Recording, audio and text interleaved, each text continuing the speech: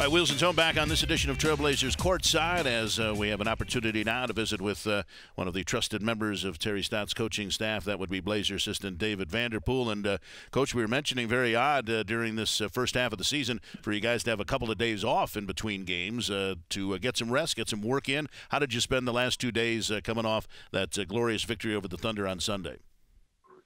Well, I mean, you know, obviously we still have to continue to prepare, continue to grow. So, it is a day off, I guess, traditionally, and guys that, that needed rest, needed certain things for their bodies, got a chance to just kind of take care of their bodies and take care of some of those things, and, and other guys just continue to work and continue to try to grow. So it's a day off for some, and not so much a day off for others, and for the for the coaches and for the for people that work every single day like you guys, it, it wasn't a day off.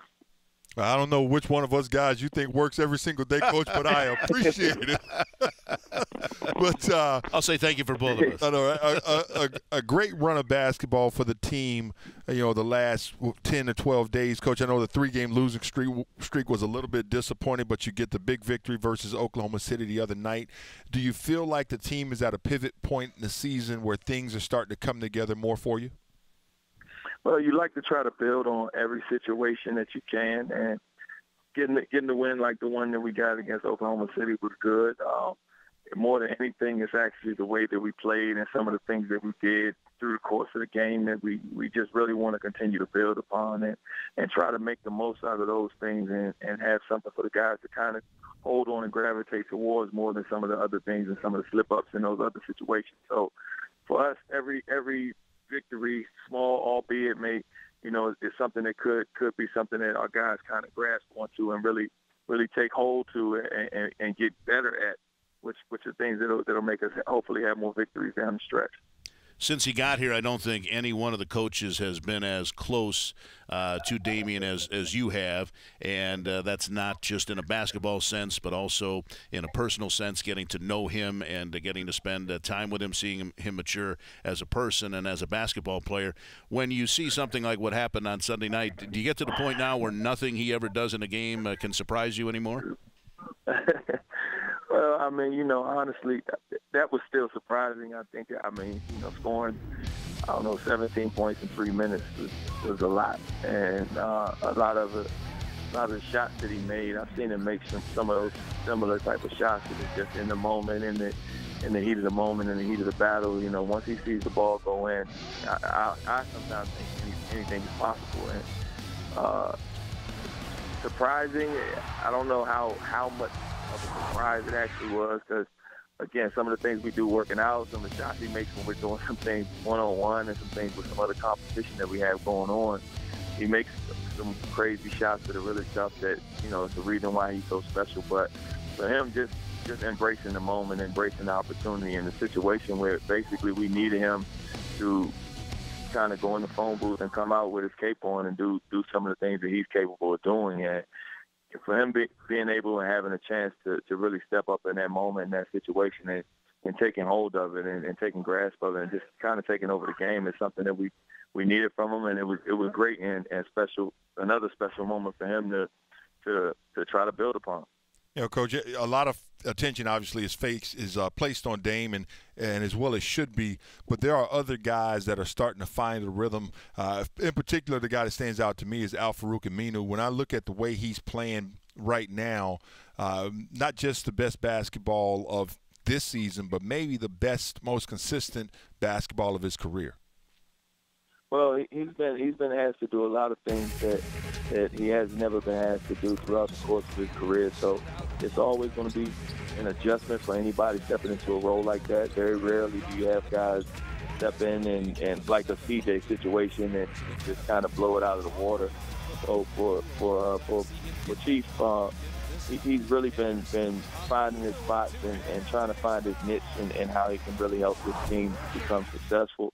And I think he's getting a, a, better feel for a lot of different things, along with our system and some of the things that we have in place. Just playing with the guys and understanding the things they like, the things they need. Uh, one of the things that he has, he has to continue to, to grow and stay consistent with is his defense and being a defender out there for us, being long, being active, uh, cutting to the basket, making all those other type of plays that he's actually capable of because some of our guys again don't have the athleticism or the length and, and the ability that he has. So we have so, many different guys that are very unique in their own roles or own situations, and being a star in your role is important for our team.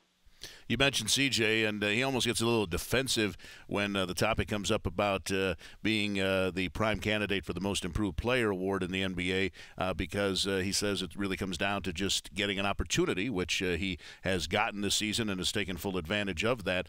where have you seen his growth, and has anything that he has done so far this season surprised you at all in terms of how fast he's become easily the number two scorer on this team and one of the best in the entire league?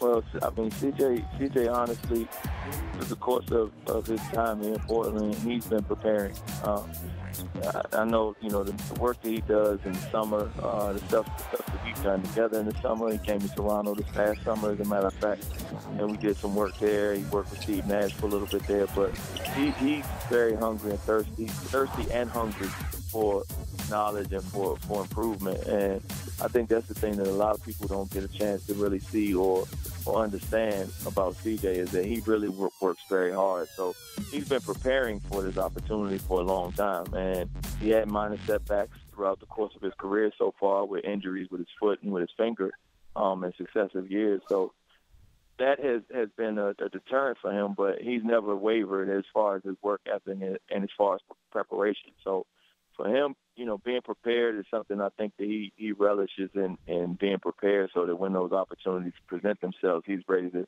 to take hold of them. Man, he's done nothing short of that this season. We, we, he and I talked about, uh, before the season started, talked about, uh, this, you know, most improved situation. And, you know, we know that, know that that's something that, um, that the, the media especially will be, you know, and, and fans alike will look at him in that light just because of him not having played as much throughout the course of his career and played a little bit here and there and just making that type of jump as far as his, points per game average. But you know, for him, I, I think he he looks at it like he's always been capable, hasn't really uh, had opportunity, and not not lack of opportunity because of playing time, but lack of opportunity because of other things, because of being injured, because of having to play behind such great players as, as Wes Matthews and Nicolas Batum. You know, it's it's a lot of different reasons and variables. And I think sometimes when he talked about not having the opportunity, people take it, you know, a little bit the wrong way.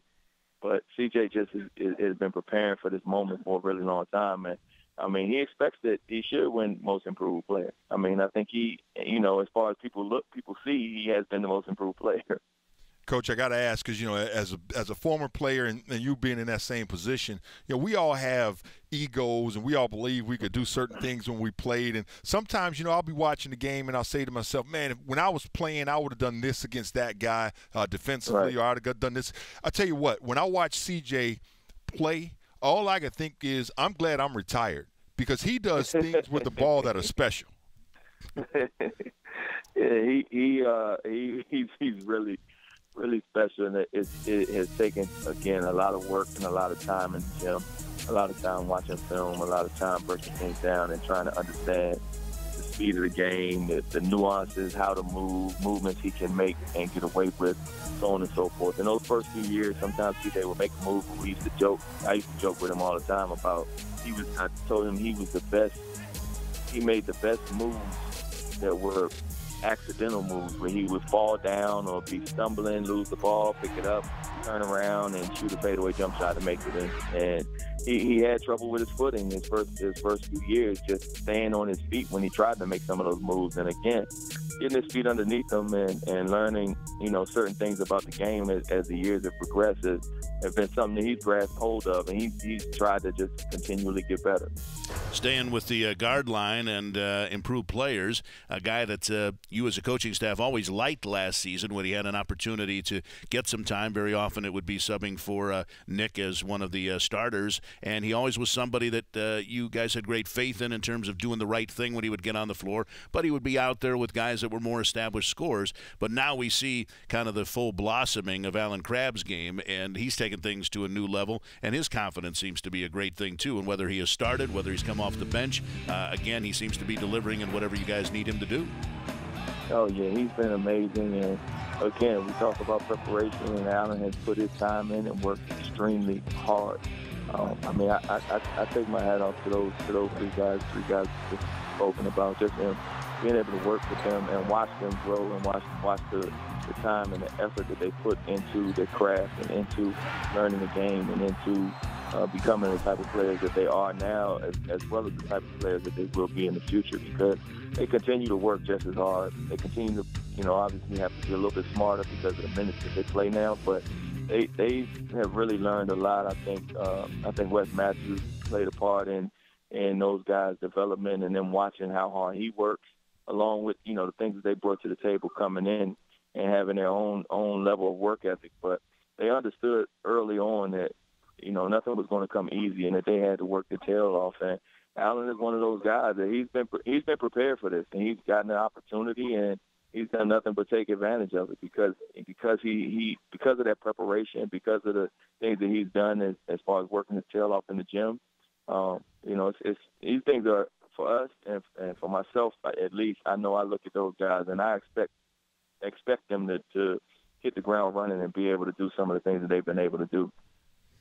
Lastly, Coach, Utah tomorrow night. Uh, Damian has said many times that he reminds everybody of how close the club is to uh, being in the top eight in the Western Conference. Utah is in that eight spot right now. Do you, as a staff, talk much about it, or do you think it's too early to even be looking at the standings?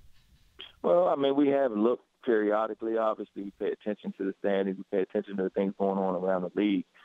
It's not something that we focus upon. Obviously, we want to continue to grow. We want to continue to get better as a team. We want to continue to get these individuals to a level of playoff basketball, playoff level uh, team teammates, and the, you know the fact that the better opportunity that we have in doing that, the better off things will be as it comes down to it. I mean, things generally take care of themselves, but we have to take everything game by game. Utah happens to be in the eighth spot, and that, that is a barometer for us. So it's something that's realistic. It's obviously a realistic goal, uh, and it's, it's something that we have to have have to take with a with a grain of salt when it comes to standings right now. Because you know, fortunately for us right now, the playoffs don't start tomorrow.